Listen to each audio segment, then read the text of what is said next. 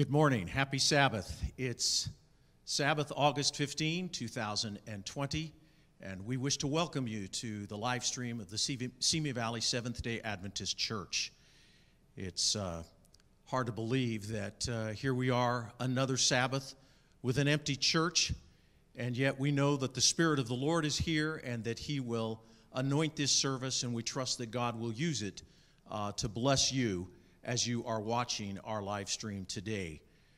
We have some things that we want to share with you. We've been talking about doing, uh, starting an outdoor uh, parking lot worship service, and we had hoped to start that next Sabbath. But I just want to let you know that your church board here uh, made a decision that due to the uh, rather intense heat that we're experiencing, that uh, it probably would not be good to sit out in a parking lot in that kind of heat. Uh, for an extended period of time, and so they've made a decision to uh, postpone that decision uh, to begin a uh, parking lot worship service till sometime in September. So stay tuned for additional information, and hopefully, uh, in another uh, four weeks or so, uh, we'll be able to welcome you here on campus for an drive-in parking lot worship service. And so we will be looking forward to that. And speaking of drive in, uh, Pastor Jan, uh, what's going to be taking place immediately following our worship service today? Well, at 12:15 we will be out there to greet you um, in your cars. We'll have our masks on, and we'll pray with you if you have any prayer requests. We have Sabbath school materials and balloons for the kids, so we'd love to see you if you feel safe doing so. All right. Well, we uh, there are several of you that uh, have come over the last uh, many weeks since we've been doing this in early May, but there are still some of you that we've not seen. We've not even seen you since uh, this whole pandemic started. It would be wonderful to have you surprise us today. Uh, last Sabbath, there were only four cars that came through, and we were kind of sad. Uh, we'd love to see more of you. So if you feel safe in doing so, please come by. Just take a minute, allow us to pray with you uh, to encourage you, to give you any materials that you may need, and uh, just to um, uh, assist you uh, in your uh, journey with Jesus. Pastor Jan, talk to us about our, our Encourage. Well, several nights a week we um, we meet, and right now I'm sharing individual stories from a book about angels and how they have ministered to um, God's children in various times in various ways.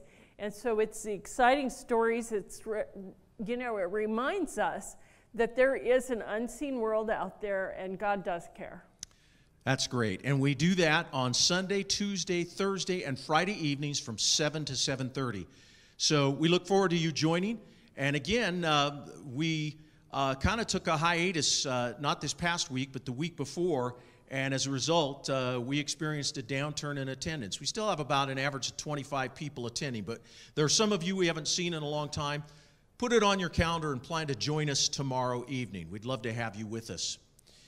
This evening at 6:30, uh, we are going to be having a baptism. Pastor Jan and I will be hosting a baptism in our swimming pool. Uh, we'll be baptizing Michelle Miller this evening at 6:30. Uh, we have space for a limited number of people, 20 people, and I think we filled about half of those slots.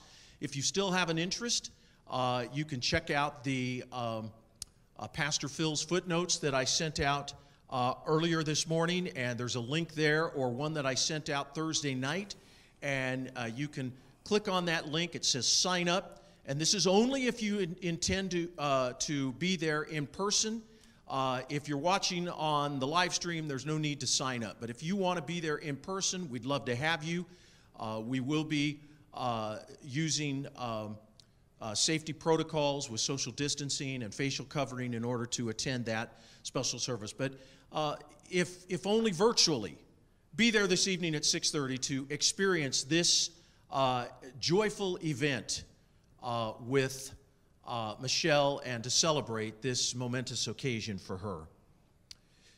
Next Sabbath morning at 9:30 we'll continue our Sabbath school lesson on making friends for God And our special guest presenter next week will be Dr. Philip Simon. We've had Pastor Simon a couple of times in the past, and we're looking forward to having him again next Sabbath and his presentation, Ministering Like Jesus.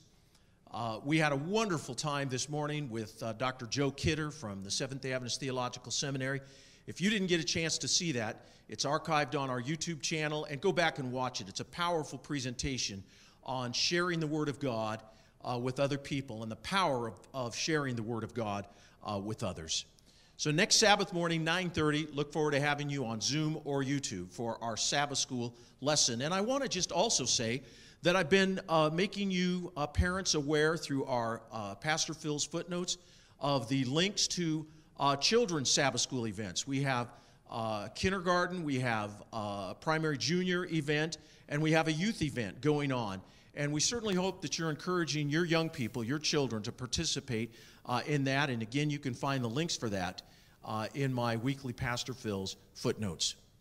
Next Sabbath morning, I will continue on our uh, journey through this Walk by Faith sermon series. Facing the Flames is the tire, uh, title of next Sabbath's presentation, 11 o'clock, our YouTube uh, live stream uh, worship service. Pastor Jan, talk to us about uh, sharing our tithes and offerings with, with uh, the church and the Lord. Again, we just want to thank God for your faithfulness in supporting God's work through your tithes and offerings. Um, it's easy to do. Um, simply go on our website, click the button for online giving, and it brings up a tithe envelope. If you're not comfortable doing that, um, you can always give us a call or you can send it in the mail either to the church or to our home address and we'll make sure that it gets taken care of. Or we will even pick it up. So just um, again, thank you so much for being faithful to God and for um, supporting um, the gospel ministry. Yes, and, and I want to just add to those comments that Pastor Jan made um, how much your generosity is appreciated. But here's something that I would love to know. Uh, I'm sure that some of you out there have some tremendous stories about how God has blessed you during this time. As you have demonstrated faithfulness to God, God has blessed you in, in profound ways and provided for your needs during this crisis. If you've had such an experience, would you just get in touch with me? I'd love to hear your story. Uh, those kinds of stories need to be told because those stories are inspirational. They encourage us and they encourage others when they hear it. So we'd love to hear your story about how God is blessed and provided for you during this incredible uh, time of crises.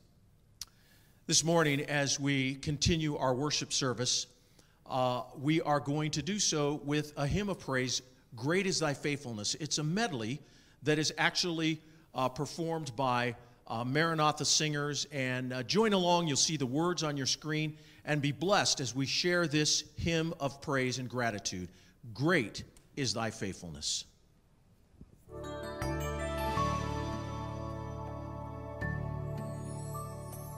Great.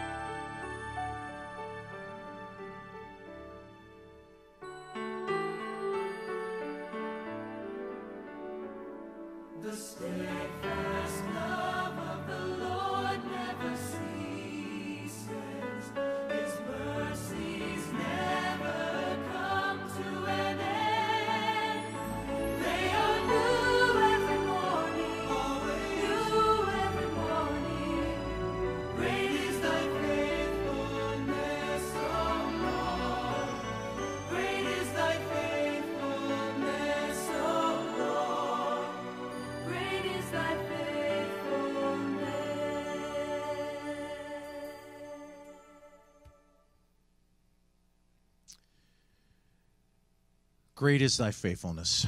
God is so awesome. Let's pray. Heavenly Father, as we are here in your house of worship, as we are in our homes, wherever it is that we are watching this service right now, we know that you are there with us, and we know that you are a faithful God. We wish to give you honor and glory and praise for your faithfulness.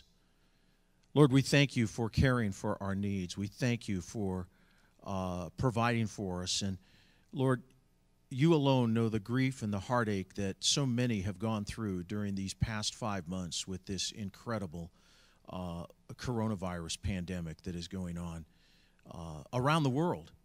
And we know that your heart grieves, and yet we know that uh, you will use this as an opportunity to engage people uh, for your kingdom. And we just ask and pray that you would use us to be uh, instruments in your hand to communicate the love and the gospel of Jesus with other people. Lord, there are people in our church family who are hurting. Some who have lost their jobs, some who have uh, been reduced in their income, some who are experiencing emotional uh, hurt and pain as a result of this, some who are experiencing physical pain and challenges and then, Lord, some who are struggling spiritually. And we ask and pray, Lord, that through the anointing of your Spirit, you would reach down and touch each and every one of these individuals. Some of us have friends and family members who've been impacted in a, in a, uh, a rather catastrophic way. We lift those people before you as well.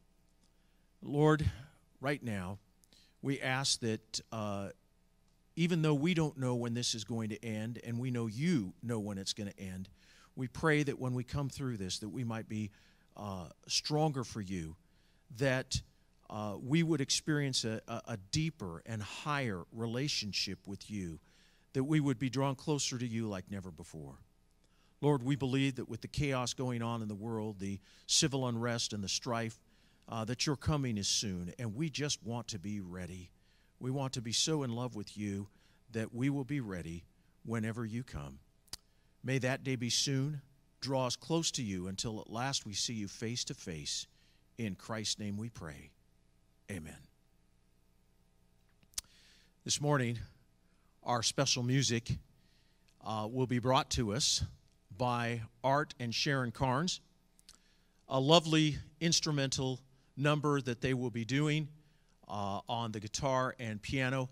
I'd rather have Jesus. And may that be the prayer of your heart today. I'd rather have Jesus.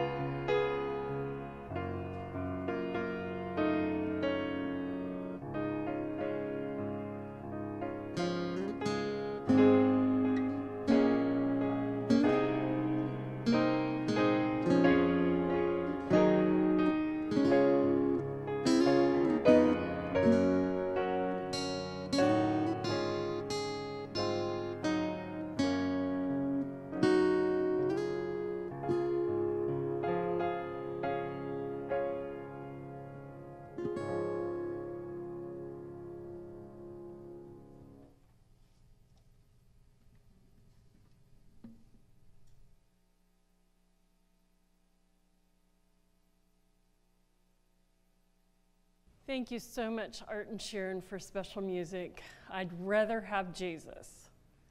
And give me Jesus. That's what we want, isn't it, in our life?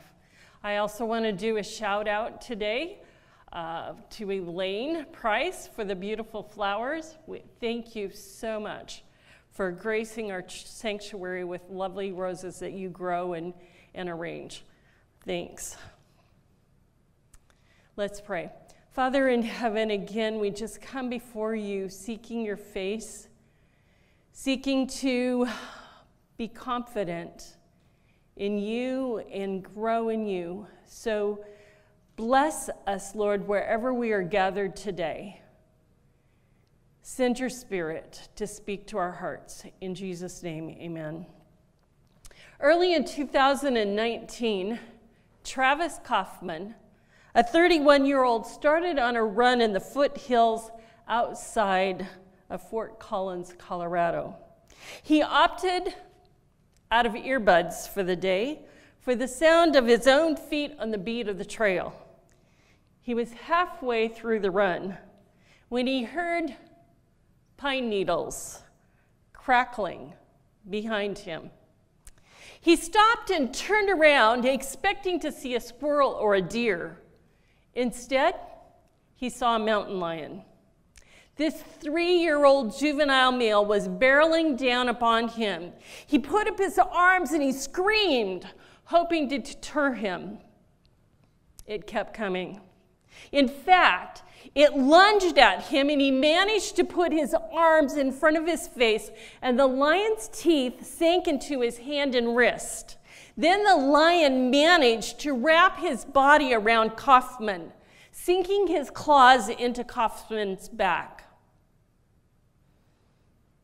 The Apostle Peter reminds us in 1 Peter 5, verse 8 be sober, be vigilant because your adversary, the devil, walks about like a roaring lion, seeking whom he may devour.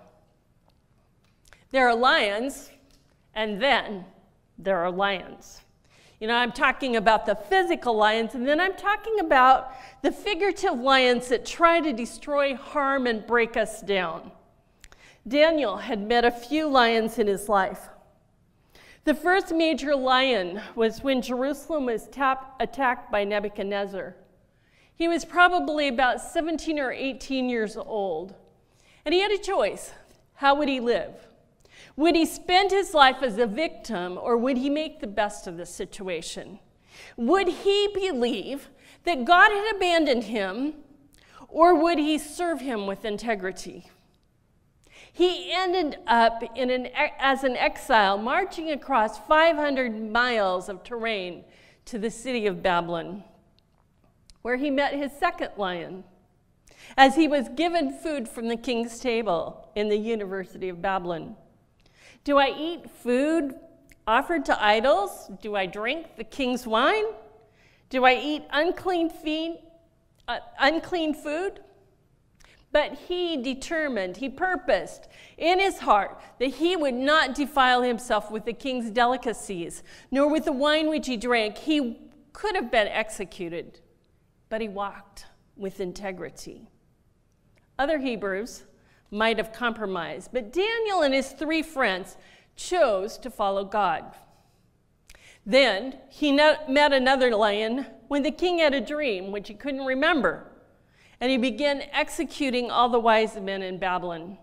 Daniel and his companions met that lion by having a prayer meeting. God answered by a dream. Their lives were spared. Now, here in Daniel chapter 6, years have come and gone, and Daniel is now in his mid 80s. He's an old man, beloved of God.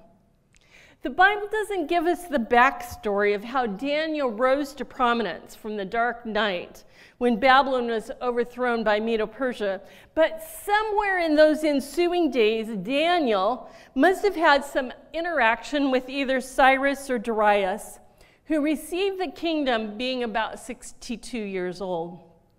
We aren't told how it happened, but somewhere in those ensuing days, Daniel must have shared, or it could have been stories circulated about the handwriting on the wall. The prophetic word of Isaiah, which had foretold the very means by which Babylon would be overthrown, even naming the general who would conquer Babylon, Cyrus. But whatever stories were told, King Darius notices Daniel. Daniel distinguishes himself as an honest man, filled with integrity, leadership, godliness. And you know, organization in a huge empire was important. And so 120 satraps were chosen. Now, that word satrap means protector of the kingdom. These were the lesser officials who ruled over small geographic regions. They made sure the taxes were collected and nothing was stolen from the king. Then there was the higher up organization, the three administrators, who made sure the lower satraps were doing their job with integrity and honesty. And as King Darius meets with 120 satraps, three of them seem to be the cream of the crop. And he decides that they will be the administrators. But Daniel rises above the others as trustworthy, competent, God fearing, wise. He's not corrupt, he's not dishonest. You know, Daniel's faith was not hidden from view. He's known as a monotheistic, the worshiper of the Creator God. His convictions are evident to everyone. He does not gloss over his faith or religious convictions. But as in almost every human organization, the ugly head of jealousy, professional jealousy appears. Two others are jealous. Maybe they were jealous of his position or the fact that King Darius seemed duly impressed and interested in Daniel's stories and with his God. But the two, along with several of the other satraps, seek to bring Daniel down. It was a conspiracy, a conspiracy theory that was true. They could find no shady dealings. They could find no evidence of bribery or cutting corners, and they came to the overwhelming conclusion that the only fight, the only fault they could concoct against Daniel was concerning the law of his God. They had to be cunning, they had to be deceptive, they had to appeal to the king's ego to make it look like it was a matter of loyalty to the king. So when they polished their plan, a group of them went as a delegation to the king. Oh, King Darius, live forever. All the governors, the administrators, the satraps, the counselors, and advi- advisors, oh, just a little lie, have consulted together to establish a royal statute and to make a firm decree that whoever petitions any god or man for 30 days, except for you, O king, shall be cast into the den of lions.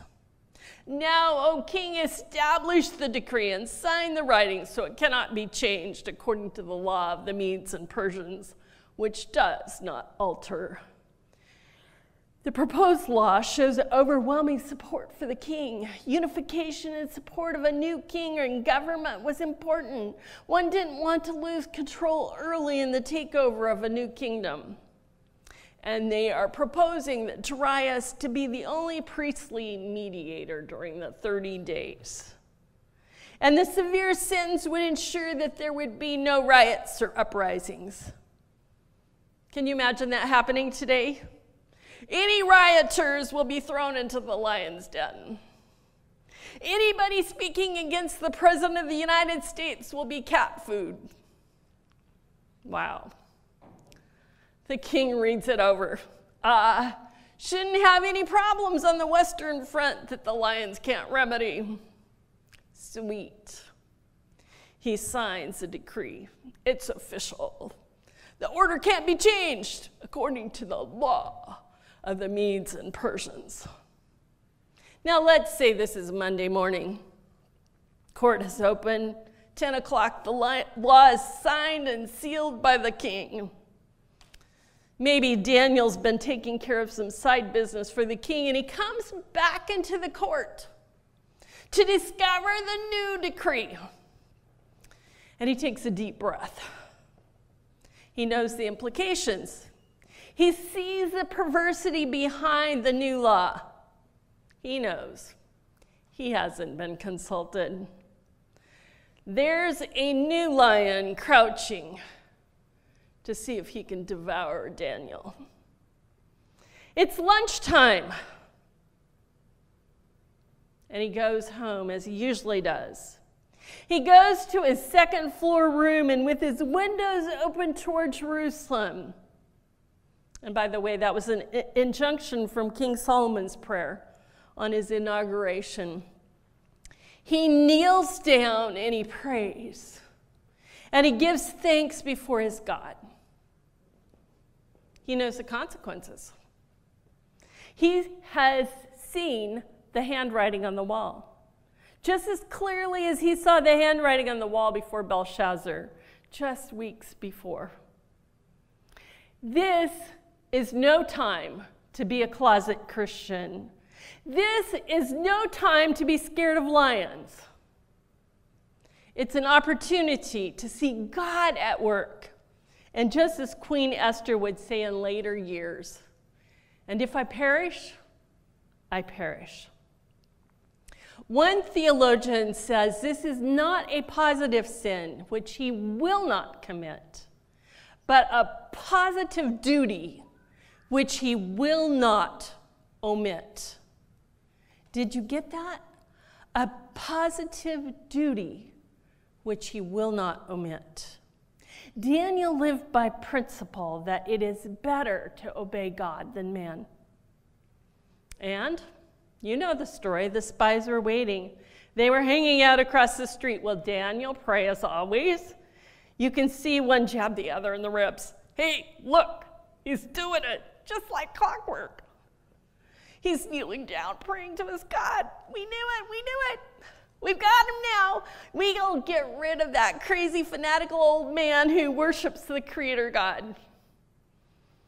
Back from lunch, Oh, King, live forever. Didn't you just sign a decree that no one can petition any god or man besides you and they will be cast into the lion's den?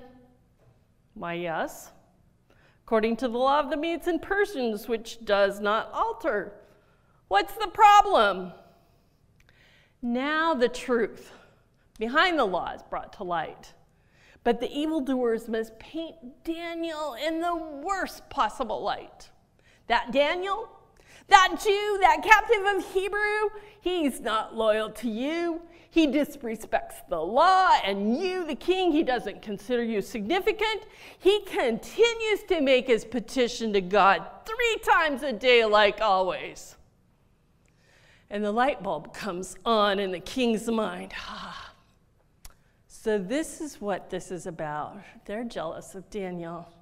They want his position, they want to get rid of a rival. Oh, if only I hadn't been quite so taken in with the loyalty piece. I thought it was a straight, simple, straightforward, unifying loyalty statement. And his face turns red and his fists clench and unclench, and they begin to back up. They see that they've crossed the king, and he sends them out of the room.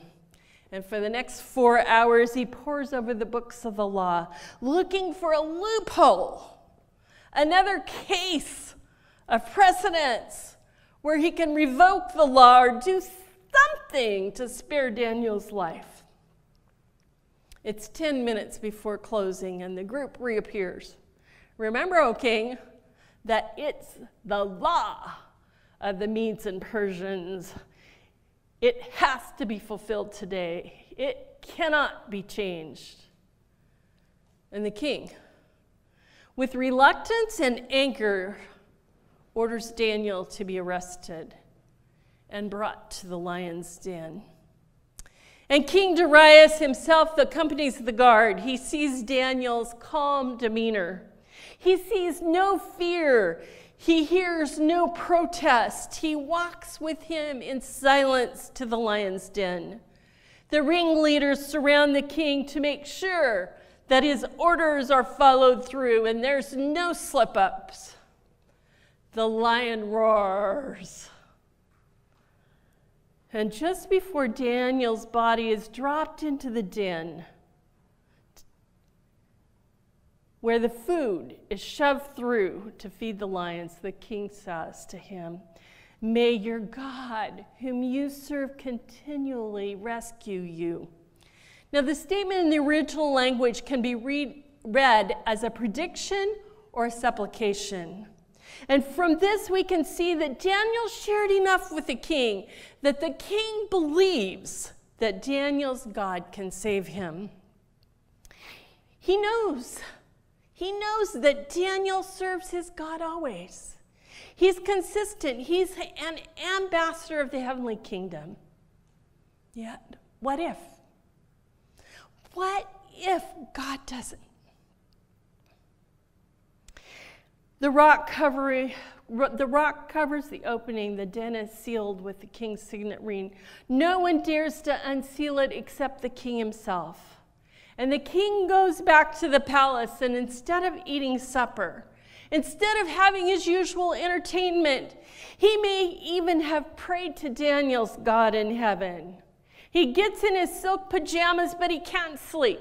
Over and over, he regrets signing the document thinking it through, wondering whether Daniel has been eaten or whether God's Daniel's God has protected him.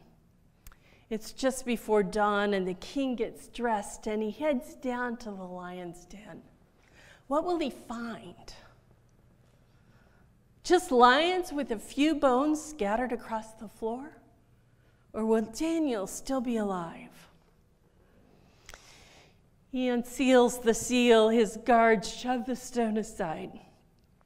And King Darius peers down into that dark hole and calls out, Daniel! Daniel, servant of the living God, has your God, whom you serve continually, been able to rescue you from the lions? Notice again that the king acknowledges that Daniel serves the living God and also acknowledges that Daniel is faithful in his religious life. And you can almost see the worry lift from his countenance and this joy spread over his face as he hears that familiar voice O King, live forever. My God sent his angel and shut the lion's mouth so they've not hurt me because I was found innocent before him. And also, O king, I've done no wrong before you. The king was supremely happy for Daniel. He commanded his guards to put the ropes down and Daniel to be pulled up from the den. And everyone looked Daniel over. There's no injury. His clothes are not torn. And everyone credits it to Daniel, to the fact that Daniel believed in his God. And evidently, there's a, there was an ancient Babylonian custom that if victims were tortured and they survived the night, they would be pardoned the next day. And that must have been what happened to Daniel. And the lions who tried to destroy Daniel, I mean those professional lions, those jealous men, their wives and their children were then given the same punishment that they had imposed on Daniel. Sounds like kind of harsh treatment. The lions overpowered them, broke their bones in pieces before they hit the bottom of the den. What are the lions in your life? and mine. So, how do we walk by faith when the lions roar? What lessons can we learn from Daniel in the lion's den? What principles can we apply to our own life? You see, the lions are anything that threaten to destroy us or our security in God. Maybe it's illness or disease. Maybe it's depression Maybe it's an unhappy marriage. Maybe it's rebellious kids. Maybe it's professional jealousy. Maybe it's a job loss. Maybe it's financial challenges. Maybe it's family challenges. Whatever it is, when we think that we are in the tunnel and we can't see the light at the other end, or we're being carried by a current in a raging flood, or bouncing precariously in an ocean of challenges, God has some weapons in his arsenal for our battle with the lions. And from Daniel, we learn we, we need to purpose in our heart that we will serve God always. It's a daily decision, Paul said, for I determined not to know anything among you except Jesus Christ and Him crucified. What if every decision, every action was wrapped in Jesus Christ and His death? Our second weapon is prayer. Take everything to God in prayer. Daniel had a consistent life of prayer. It wasn't just at times of crisis, his life was bathed in prayer. God was real. He knew him, he leaned on him for guidance. And is it any surprise that heaven considered Daniel beloved of God?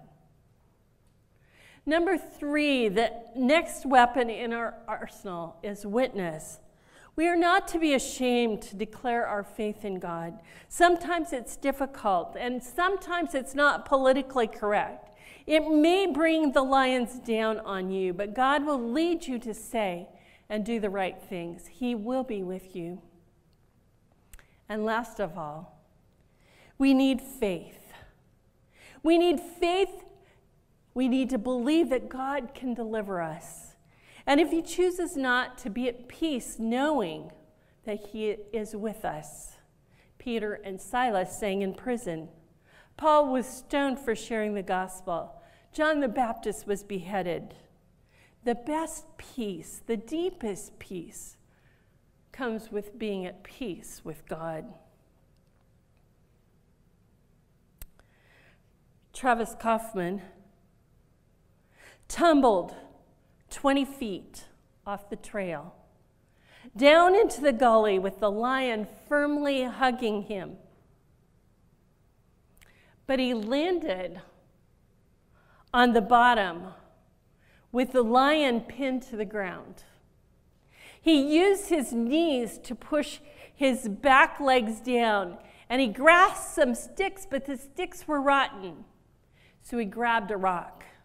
And he started to beat the lion with a rock in the head.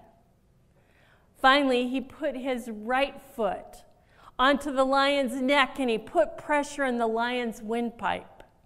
And gradually, he suffocated the lion. The struggle lasted 10 long minutes. He climbed out of the gully and he started running again and he met up with a couple of hikers who helped him to the emergency room. Kauffman received more than two dozen stitches to his cheek and nose. The lifesaver for him was not listening to music. Otherwise, he would have never heard the lion coming. Satan, the lion who seeks to devour us, is a defeated foe.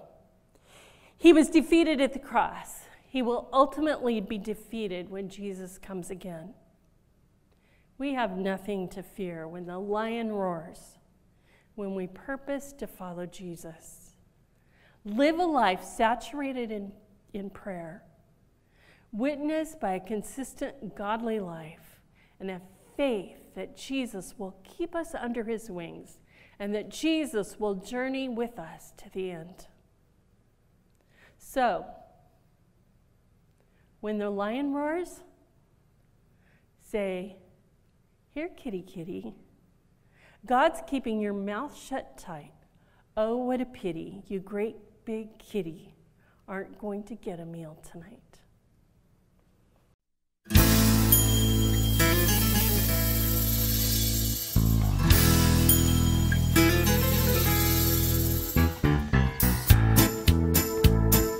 Long ago there lived a man named Daniel, known throughout the land for being wise.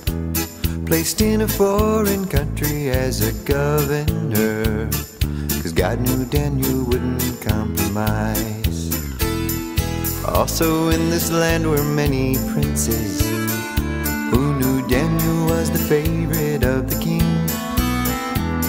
They tried to find a fault or two that this man had, but Daniel never failed at anything. There had to be some way that they could get him. They watched him as he prayed three times a day.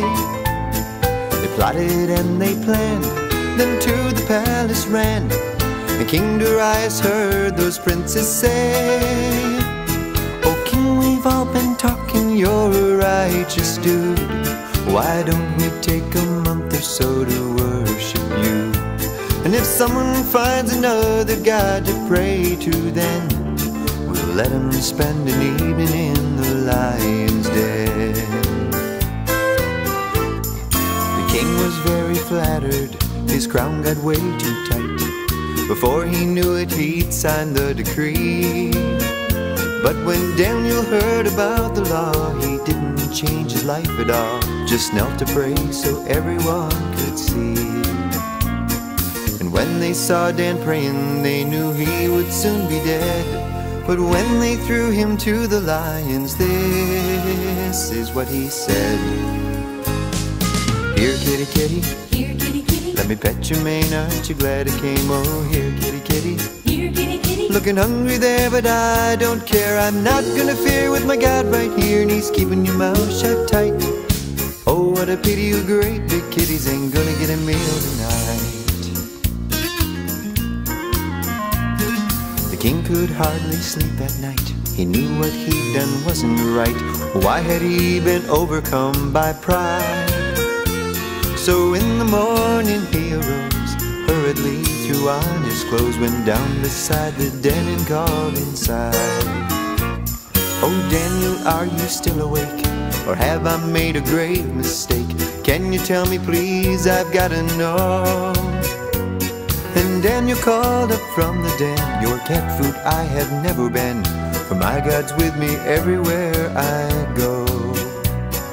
And if you make another law that says that I can't pray, I'll see my friends down here again, and once again I'll say, Here, kitty, kitty, Here, kitty, kitty. let me pet your mane. Aren't you glad I came? Oh, here, kitty, kitty.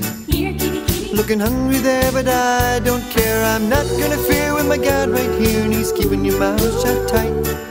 Oh, what a pity you great big kitties ain't gonna get a meal tonight. Pity you great big kitties ain't gonna get a meal tonight.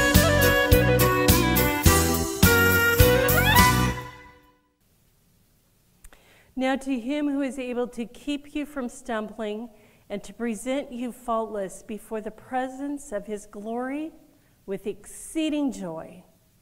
To God our Savior, who alone is wise, be glory and majesty, dominion and power, both now and forever. Amen. We look forward to you joining us in just a few moments uh, at 12:15 when we begin our uh, drive-by greeting, and um, we'll look forward to seeing you there. As I said uh, last week, we only had four, so we're hoping for a few more this week. Uh, take a minute of your time. We'll be out there in about 25 minutes, and we'll look forward to uh, fellowshipping with you uh, as you drive through the parking lot. And then I want to uh, call your attention to the fact that at 6:30 this evening, uh, you can join uh, the live stream of our baptism uh, that will take place um, at our home in our swimming pool, baptizing Michelle Miller. Looking forward to her special day, 6:30 this evening, and hope that you can join in that special celebration with Michelle. Then next Sabbath morning at 9:30, uh, our Zoom and YouTube uh, virtual Sabbath school class featuring uh, Dr. Philip Simon. Uh, Pastor Simon will have a powerful presentation ministering like Jesus. And then our worship service next Sabbath morning, where I will continue our Walk by Faith uh, sermon series, uh, Facing the flames. We look forward to seeing you shortly and just stay safe, uh, stay close to Jesus, and uh, God will be there for us. And, and we long for that day when He will come and rescue us for all eternity. Take care. God bless.